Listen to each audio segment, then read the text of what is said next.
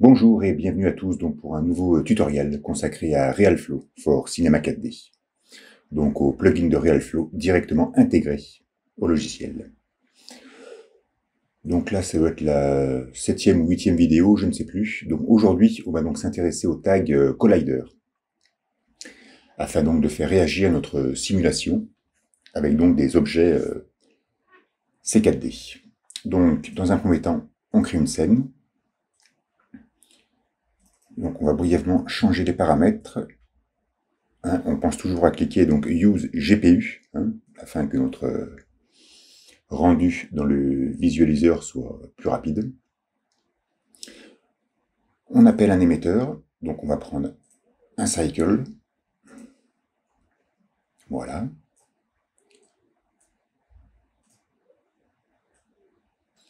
Donc là, si je fais un play, voilà, donc mon flux de particules hein, est éjecté et tombe grâce à la gravité. OK. Donc j'appelle un cube. Voilà. On va donc lui donner une forme légèrement aplatie, hein, comme si c'était un sol. On va enlever la grille, pardon. OK. Et donc, lorsque je fais donc un clic droit sur le cube, voilà, on a donc propriété RealFlow. Voilà, donc on a donc deux tags, qui est Collider et Volume. Et donc, si j'appelle donc le tag Collider, je vais donc euh, permettre à ce cube d'interagir donc avec le jeu de simulation. Là, on constate tout de suite que dans l'onglet Link, on a donc notre fluide.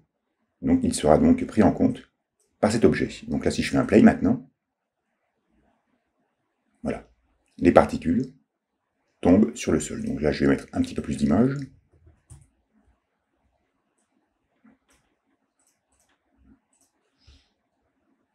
Voilà, donc, notre jeu de particules tombe sur le sol. OK? Donc, au niveau donc, euh, donc, du tag Collider, on a donc différents onglets. Donc, on va s'intéresser pour l'instant à Display. Donc, lorsque je clique sur Display, on a donc Show Collision Geometry. Et donc, si je clique sur le petit carré, on constate que notre cube s'est recouvert d'une cape rouge. Et donc, en fait, cette cape rouge va donc nous montrer où se trouvent, euh, où se trouvaient les points de collision. Ok donc en fait, ça nous permet d'avoir une idée. Voilà. Là, en l'occurrence, on constate donc que la cape rouge voilà, répond assez bien à la géométrie donc, de notre cube. Voilà, ce qui veut dire donc que les collisions vont être euh, assez conformes donc, à, cette géométrie. Hein, donc ça, c'est uniquement donc, pour, euh, pour avoir une idée hein, d'où va se produire donc, notre collision. Il faut savoir que dès qu'on active donc, ce, ce show collision géométrie, les déplacements dans la scène sont beaucoup plus lents. Hein, donc ça prend de la ressource machine. Donc en fait, ça c'est juste pour avoir une information. Très vite, on le décoche. Voilà. Et donc après, dans le tag de Collider, on va donc dans Propriétés. Et donc là, on a donc différents paramètres. OK Donc on a donc le petit bouton hein, pour euh, activer la collision ou la désactiver. Et après, on a donc Collision Distance. Donc là, en l'occurrence, on a 1 cm. Hein, ce qui veut donc dire que les particules en tout cas que la, collision entre l'objet et les particules va se faire 1 cm au-dessus de l'objet. Par exemple, si je mets 20, 20 cm, hein, là je fais un play. Donc on va, faire, un stop, voilà. Donc là on constate, hein, hein, en l'occurrence si je vais dans la vue de côté, la vue de droite, voilà donc notre cube, on voit bien que les, collisions se sont faites légèrement en amont. Donc en fait, il faut savoir que dès qu'on va créer donc, le, maillage de notre flux de particules, voilà, on va pouvoir créer une distance. Hein, en gros, à quelle distance on veut que notre maillage euh, se forme par rapport aux particules. Hein. Donc il peut, euh, si notre maillage se forme par exemple à, 2-3 cm autour de nos particules, donc là ce sera bien de mettre 2 ou 3 cm. Hein. donc après bien sûr, tout va dépendre au niveau de la distance de collision, tout va dépendre en fait du maillage que vous allez former par la suite.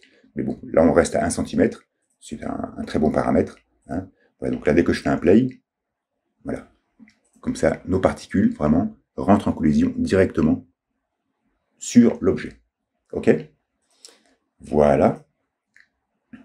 Ensuite, on a donc différentes, euh, différents paramètres, notamment le paramètre de friction. OK? Donc là, en l'occurrence, il est de 0.001, mais par exemple, si je mets la valeur maximum, donc une valeur à 1, voilà, en fait, euh, la surface de notre objet maintenant ne va plus être lisse. Voilà, c'est-à-dire que les particules ne glissent plus sur la surface. Hein, là, on le voit très très bien.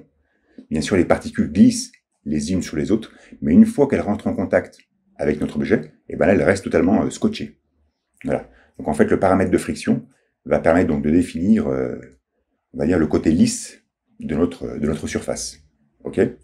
Hein, Donc faut savoir que très souvent, si on veut vraiment une surface assez lisse, il faut quand même jouer avec des paramètres assez petits. Par exemple, si je mets 0,1, hein, qui pourrait sembler une, valeur, assez basse, voilà. Et ben là, on constate que euh, ça agrippe encore pas mal. Hein, voilà, donc généralement, il faut plutôt mettre 0,01, 0.001, etc. Ensuite, si je clique sur la petite euh, flèche ici, là, on peut donc mettre une texture. Hein. Donc généralement, c'est une texture noir et blanc. Donc les blancs, ça va être euh, lisse, je crois. Alors on va faire un essai. Hein. Donc en fait, il faut donc créer une texture. Donc on va dans notre euh, matériau. Voilà, on va, on créer un nouveau matériel. Donc dans l'onglet couleur, on va donc appeler par exemple le damier. L'échiquier, pardon. Voilà. Donc, afin de nous rendre compte de comment réagit, on va appliquer cette texture à notre surface. Donc on va baisser légèrement les valeurs. On va mettre 4 et 4. Voilà. Hmm. on va plutôt mettre 3 et 3, pardon. OK. Ensuite, euh, donc ce qu'il faut, c'est que j'appelle, euh, enfin que j'ouvre l'éditeur de matériaux. Ensuite, quand je suis donc dans mon tag collider, ici, je fais un drag and drop de ma texture que je vais appliquer ici, échiquier. Voilà. Et donc maintenant, dès que je fais un play,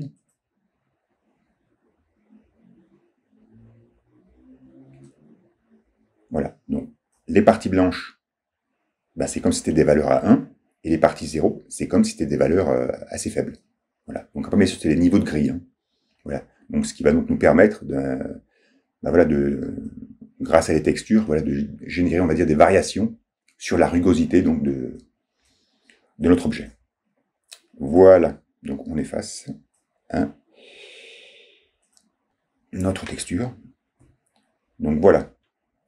Voilà donc pour, euh, pour la friction, pour les paramètres de friction. Donc là, on va retourner dans une valeur assez faible, 0,1. OK. Ensuite, on a bounce. Donc bounce, c'est le rebond.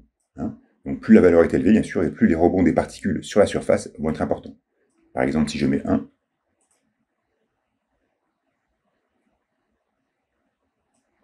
Voilà. Donc là, on constate bien sûr que c'est quand ces particules arrivent qu'elles se mettent à rebondir. Après, une fois qu'elles sont sur la surface et qu'elles sont attirées par la, enfin, scotchées à la surface, bien sûr, elles ne rebondissent plus. Mais voilà. Ok. Ensuite, on a un paramètre donc de sticky. Donc là aussi, hein, si on met une valeur assez élevée,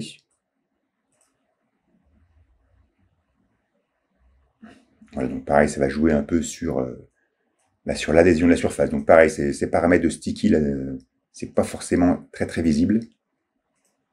Mais en tout cas, ça a toujours une influence hein, sur, le, résultat final. Voilà. Et après, donc, on a le paramètre de roughness. Donc là, ça va générer une sorte de, pareil, de rugosité à notre surface. Voilà, là, en l'occurrence, on constate que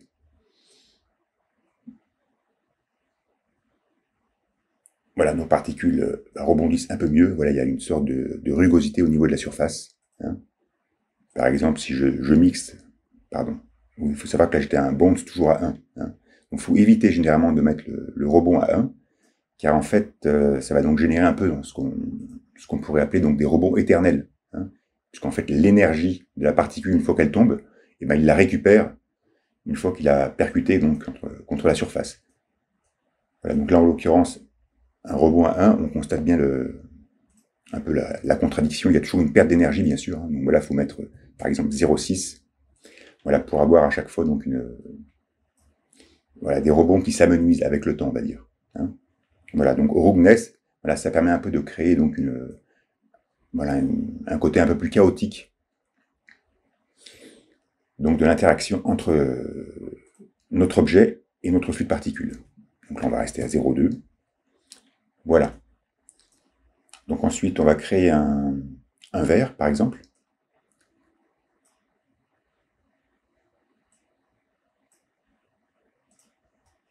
Voilà. Donc j'ai volontairement fait un verre assez fin hein, pour l'expérience. Donc là, si je fais, donc bien sûr, j'appelle le tag collider que je mets dans mon verre, je fais un play. Voilà. Et donc là, on constate eh ben, que des particules passent à travers, du verre, à, travers le verre. OK? Donc, depuis le tag collider, j'ai donc dans Display. Je clique sur Show Collision Geometry. Et donc là, on constate donc mon, verre, on va le mettre en rayon X. On constate voilà, que cette cape rouge, hein, qu'on voyait très bien tout à l'heure sur le sol, elle est très, euh, très difforme. Hein. voilà. on, comprend maintenant pourquoi les particules passent à travers. Parce qu'en fait, ici, ben, voilà, le tag collider ne fonctionne pas très bien. ok? Ça manque de précision. Et donc, en fait, là, c'est là où rentre en scène donc, le, le second tag, donc le tag volume, donc là, au niveau de mon verre, donc j'appelle le tag volume. ok? Donc là, en fait, j'ai qu'un seul paramètre. Hein. J'ai donc le niveau de détail. ok? Donc là, il était à médium. Donc on constate que j'ai différents niveaux de détail. Donc là, je vais mettre à height. ok? Et donc là, on constate maintenant que ma cape rouge, voilà, suit parfaitement donc la, géométrie de mon objet. Voilà. J'ai un niveau de détail au niveau donc de mon tag collision qui est beaucoup plus important. OK? Donc là, j'efface cette cape rouge, je fais un play.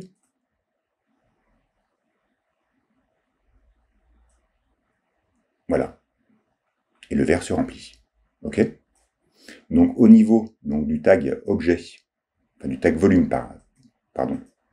Hein donc là, on a donc le niveau de détail. Mais si encore il me manquait du niveau de détail, je pourrais donc décocher Là, on a donc différents euh, boutons, décocher auto, pour rajouter encore plus de détails au niveau de cell size, par exemple. Donc là, en l'occurrence, je ne vais pas le faire, car c'est assez instable. Hein. Très souvent, quand je euh, décoche ici, euh, la machine plante. Donc pour éviter ça, je ne vais pas le faire. Mais voilà, hein, si on constate donc que le,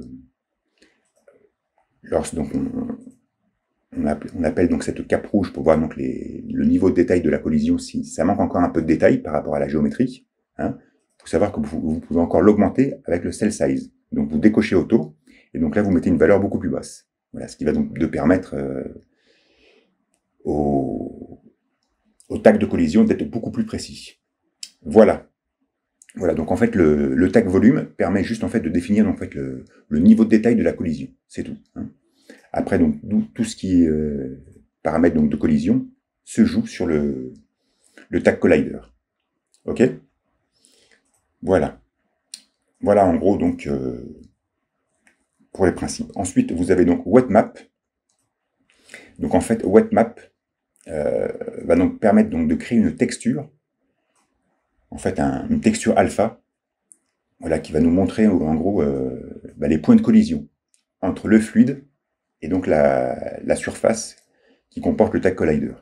Donc ça en fait j'ai fait quelques essais, mais bon je suis pas arrivé à quelque chose de concluant.